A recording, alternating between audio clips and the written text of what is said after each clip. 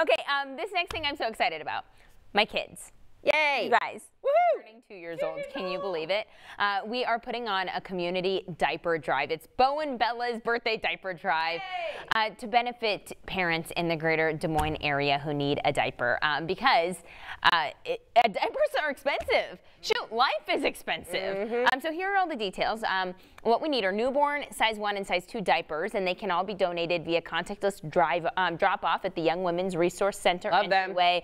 The drive starts today. It goes through Monday, February 7th. Um, if you can't get there, let us know. Send me a message on Facebook and I will come help you. We will figure out a way to get those diapers to the YWRC because this is such an incredible opportunity for us to give back. So please, if you can't drop them off on Fifth Avenue in downtown Des Moines, let me know and I'll get them to you. Yeah, we're all posting about it on social media. Oh, let's make this huge in honor of those just adorable kiddos.